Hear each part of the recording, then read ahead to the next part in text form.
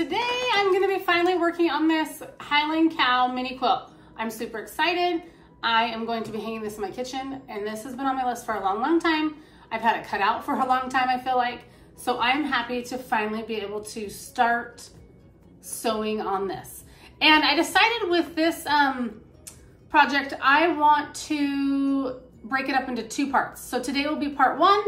Um, I'm hoping to piece it, to get it done, um, and show all that in this video. It might take me a couple days to piece this, but I'm hoping to show like all the piecing in one video and then the quilting and binding and all the finishing in video two. So, um, so be sure to check back. This will be video one today, but be sure to check back and look at um, video two so you can see how this uh, finishes and how it all turns out. Um, yeah, I'm really excited. It's gonna be super, super cute.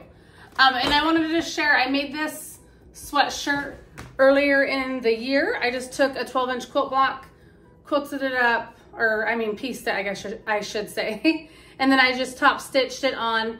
I did not use interfacing or anything. I just put it right onto the sweatshirt. Um, I haven't washed it yet, so it hasn't frayed up, but these edges will kind of like fray up. But I thought that was fun. This sweatshirt is just from Walmart. Um, I just see people put like quilt blocks on things and I thought that would be really cute to do as a quilter. So that's why I did that. So um, I made this one and then I made another one that has, oh, I can't remember the design right now. Um, but it is on a blue sweatshirt. Um, I made them kind of for like fallish and I felt like they could carry me through till spring because I did like a green color and I did a blue color. But anyway, so just kind of a fun way. I've also seen these put on like the back of denim jackets, which I thought would be super cute. If you were going somewhere, you could just throw your jacket on and I just, I just think it's super cute.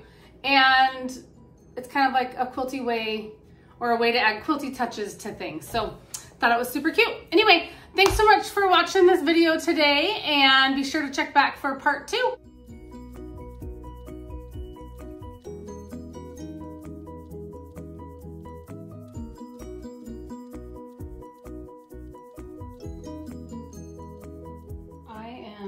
Sitting here trying to get everything figured out um, as far as the measurements of each of these pieces of fabric because I didn't label them. So right now I'm going back through and I labeled some, like these cream ones over here. I'm not sure why, but right now I'm just labeling these. I figure this will be get trimmed off with a seam allowance or stitched on. I'm using pencil, so I'm okay with that. Um, but this, this is a lot, a lot of things to keep track of. Um, for this, this is light pink, so it's the nose. Over here, these light tan pieces are the snout. They're really close in color to this cream, but they're just enough different that difference that when they're put up against um, the face right here, I think it will look okay. So I'm just trying to sort everything out so I can start sewing. So I'm just going to sew this. This is going to be part of the nostril, I believe. And I am using Kona cotton on this. So I just went to my local quilt shop and bought um,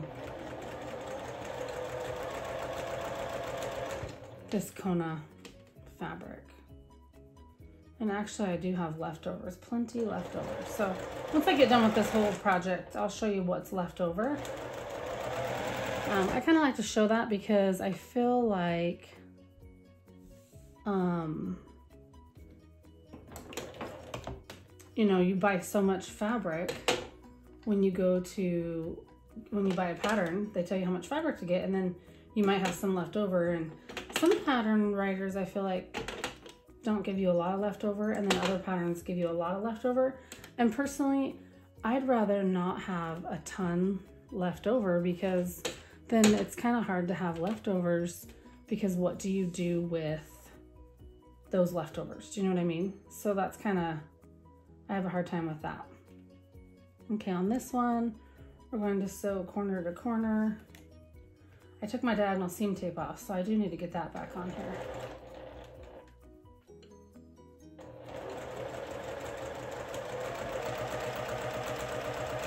So that one's going that direction. And then this one is going this direction.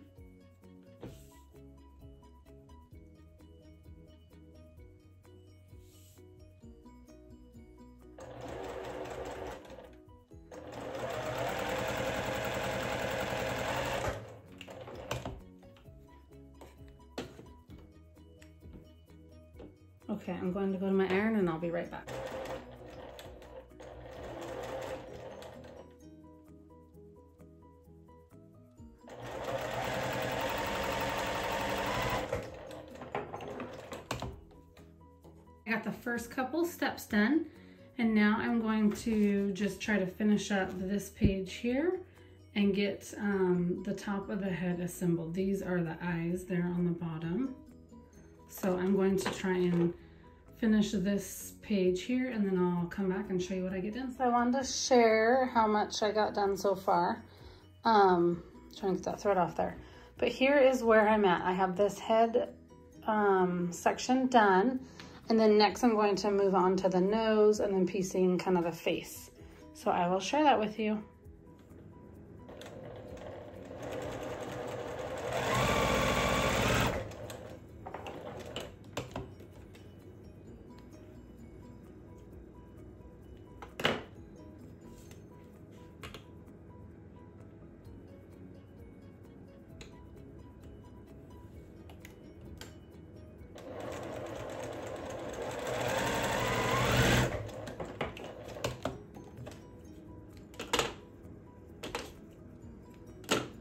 Okay, I'm going to press this. I'll be right back. All right, so I'm back. So I was just going to say that I feel like there are a lot of pieces for this one.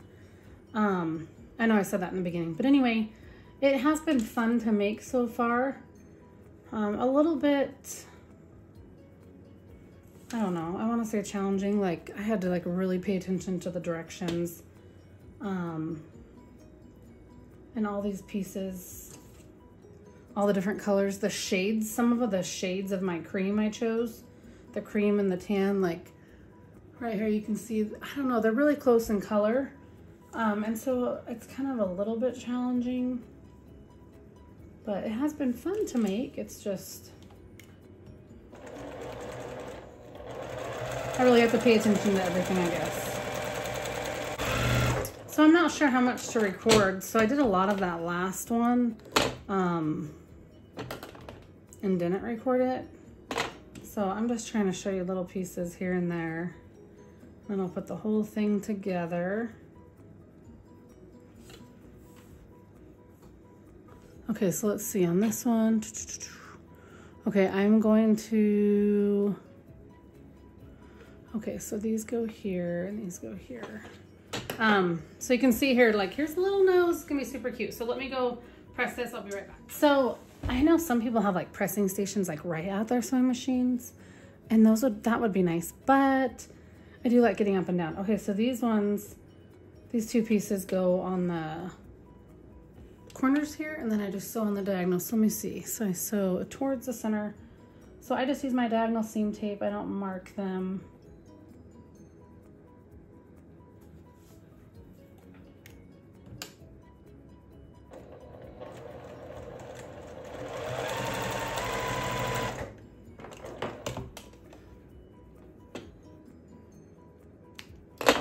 Thinking about another leaders and enders project, especially with those nine patches I started.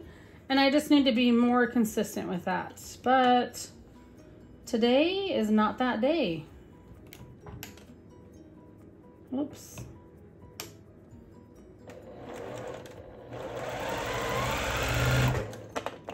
All right, so on this one, I have to trim away these corners and I just use my scissors. I don't always use my rotary cutter. And then I'm going to press these and then add these. Um, I will add these two rectangle units. I'll be right back. Okay, so you can already see the little nose coming together. It's super cute. And then you take these guys here, these little pieces, and sew them on the sides. Ooh, they match up really nicely. And I find like with this Kona, um, it doesn't stretch a ton. I feel like it really stays in place. So, and I'm gonna pin it anyway. I was, I keep thinking, okay, maybe not pin, but I do like pinning.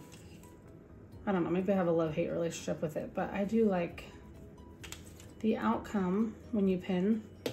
So I tend to pin even though it takes a little bit more time. Oh, I don't like that one. Some of my pins are old too. I need to go through my pins and get rid of some of them. Do you guys ever do that? Do you ever get rid of your pins when you're, uh, and replace them completely? I've thought about that and I can tell which ones are new and which ones are old based on how they look. Um, so I consider getting rid of my old ones and replacing them with new. I just have not done that yet.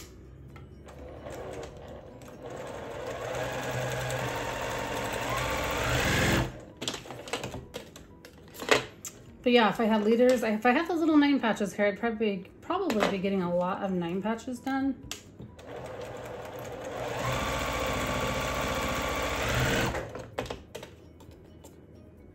Okay, I'm going to press this guy. So cute. I'm going to leave set this aside right now because um, the next step says, whoops, let's see here. Is there two? Oh, there's only one. That's right. Okay, this is an S unit and these two are eyes, lowercase eyes, and you just put them on here and you sew on the diagonal. So I'm going to sew this and then take it all to the ironing board um, at one time. So now on this one, it says to so I'm making, they have a right facing, um, right facing and left facing. Let's see if what those look like.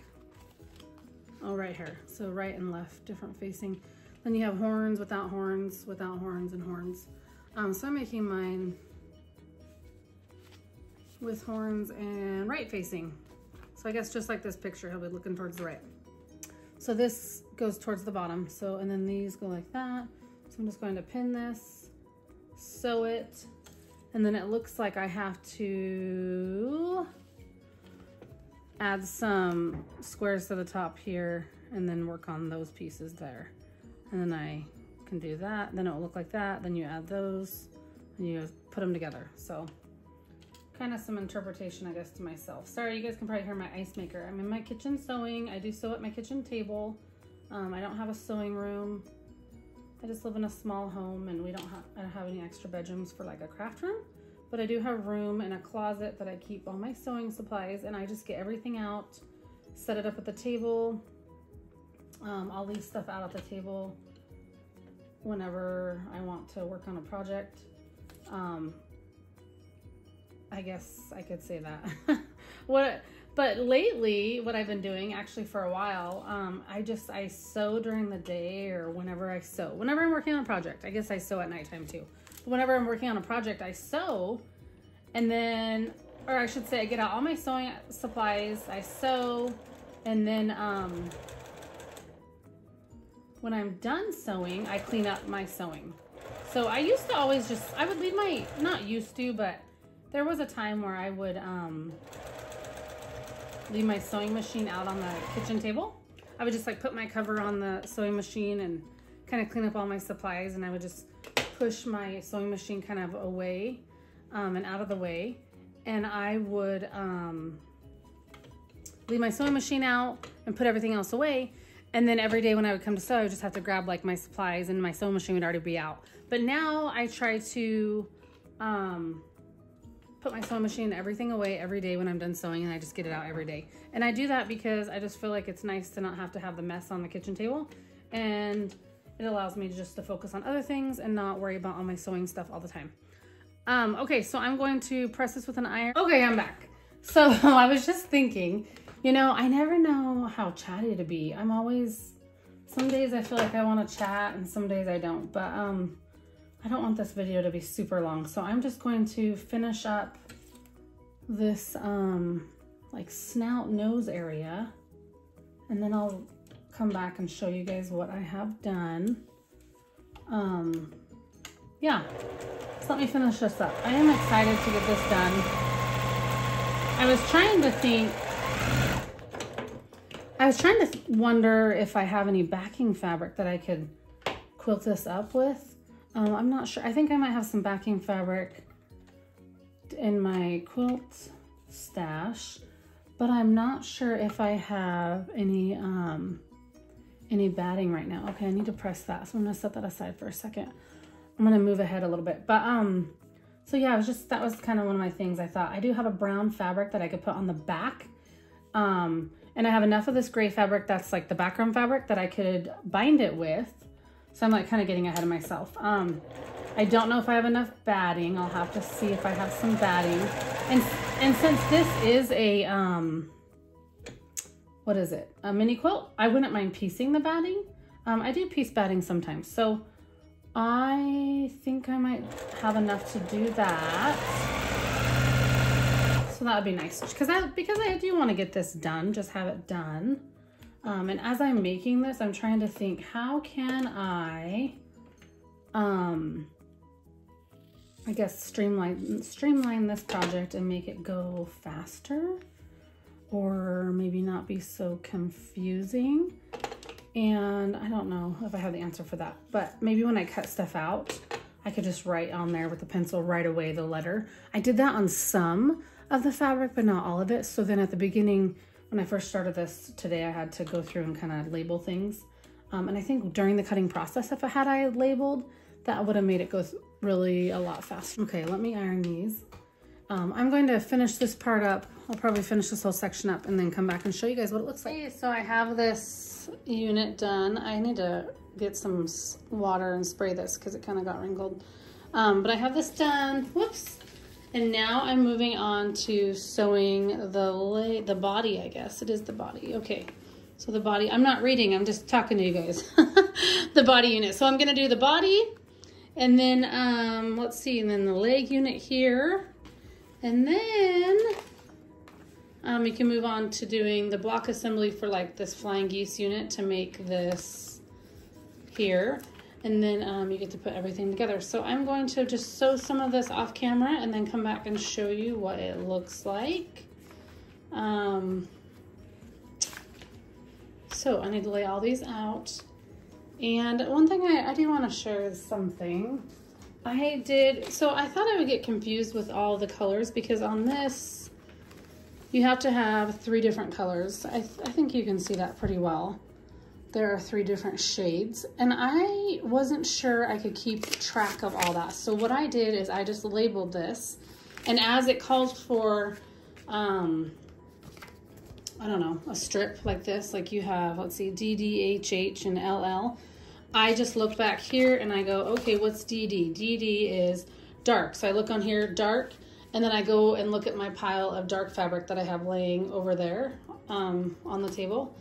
And so this really does help me. But now I am on this body unit, so I'm going to lay all these out, assemble this, and then um, do some off-camera sewing, and I will be back to show you what it all looks like. Today is day two of sewing on this pattern. Um, I just keep calling this my Highland Cow pattern, but it is called um, Cattle Call, actually. So this is where I left off yesterday. I still need to iron everything because I had everything in a bag, in my um, project bag. So I do need to give everything a good pressing, but this is where I left off yesterday. It's turning out really cute. And next up is to sew this star um, and then all these flying geese. So I will share with you as I start Here's sewing. where I'm at on my Highland Cow mini quilt. So I had to do this section. This will be for the bottom of the, um, the feet. Actually, these are the legs, I think. The legs. And then this is the tail unit, so it will be turned the other way. I just finished these flying geese, um, and then these flying geese for another part, and then a square and a square unit. And then I'm going to be assembling next. I need to take the square and a square unit right here and use some flying geese and assemble the star unit. So then it will look like this, the star unit, and then the flying geese will be grouped together. And I'm making the right facing. So I went through my book and I starred everything that said right facing to kind of keep me on track. So I just want to show you in the beginning here in my book. So here's my little pattern book and it is stapled all together. I did, okay, so I first part started um, putting a star in here that says like for the block with the horns because I wanted to remember that I was doing horns. So I put a star there, star there. And then as you go, there's another block with horns. Um, the right facing because I wanted to remember I was making the right facing. And then as I went through right facing, right facing, and then right here, you're right facing with your horns. So I just put stars in my um, pattern book because I wanted to keep myself on track and I wanted to remember what um, cow I was making because I'm making this one identical to the front of the book. I like the right facing. Okay, so here's what I got done. I got the flying geese unit done, the star unit done. Okay, so here is the layout of my cow so far. And I just need to sew it all together. So it's the next day and I just pressed this with an iron and I just wanted to share that I finished it up. So it took me two sewing days to finish this after having everything cut out and prepped. And then today was the third day and I just ironed it. Um, so I'm super happy with it. I love how it turned out. I think it's so, so adorable. Um, yeah, I don't know. It went together really fast. I thought there are a lot of pieces and I thought, gosh, I don't know if I'll make this again, like when I started first sewing it. But then as I sewed it together, it came together really fast. And now that I look at it, I just think it's so so adorable. So I might have to make another one. I'm not sure, but I hope to get this quilted up in the next video. Um, and then I am going to share that video with you guys. And then I can hang this guy, this little cow, in my kitchen for a mini quilt. Um, but I do think it would be super cute to have like a big border around it and um, to turn it into a throw quilt for the couch. I think it would be so, so adorable. But I just want to say thanks for watching and be sure to watch the second video that shows me quilting this up. I'll be doing free motion quilting on this. I need to pick out a backing. I need to make a binding and that will be in my next video. Okay, now that I sewed this pattern up, I just wanted to share um, what fabric I have left. So here are um, the fabric requirements to make this. And here's everything I bought and what I have left. So I don't think this would be enough to make another quilt, but I just want to show that there is, um, I kind of tried to keep the colors together, but I want to show that there is a good amount of fabric left. And I think on this pink, um, for the snout, I think I ended up going with just like a, maybe a four or five inch piece. I can't remember. Um, so I did get more of that. And then, okay, so there's everything that I have left. And I just want to share that. I like to share, um, you know, what the pattern, I guess the fabric requirements are and then what I use and then what's left over because I just want to share that, hey, there is quite a bit left over. Now, this will not make a whole nother quilt. I can already tell that because there's not enough brown. Um, but I think I would have enough for like the snout here. I might have enough for like a face here. Um, but definitely there's not enough background fabric. There's not enough to do the cow. Um, there's not enough to do the star here. Um, but there would be enough maybe just for like that face area there. Maybe the face and the eyes and the ears is what I'm thinking. Um, but I just want to share that. And I, I do think this pattern is so cute. And I did think to myself, gosh, if there was enough to maybe make part of it, like maybe I could cut out just what I would need for just the face, just this like below the eyes, this little area here. And I can like sew that up and have it set aside for another one. But I'm not sure if I'll do that. Um, but I do want to share, I just want to share that real fast. So that's all the fabric that's left over from um, this pattern. I followed the cut instructions here with the exception of like the black and the pink. I did overbuy on that, but then this is what is left over from this pattern and I wanted to share that with you. Thanks for watching and be sure to check back to see video two on how I finish up this Highland Cow mini quilt. See you next time. Bye. Thank you.